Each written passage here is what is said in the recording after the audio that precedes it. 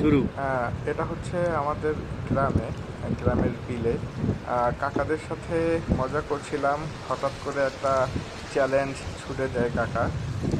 কে হচ্ছে শুয়ে শুয়ে কয়টা আজিজ প্রোডাকশনই তো আমার শাপলা ফুল আমি কিনা? পারি।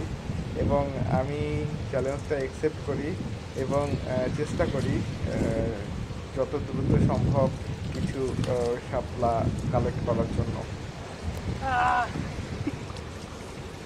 একত্রিশ সেকেন্ড হয়ে গেছে।